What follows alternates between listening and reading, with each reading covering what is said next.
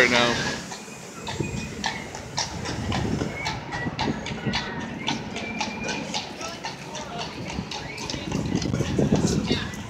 I want the fucking pink Raf Simmons Stan Smith.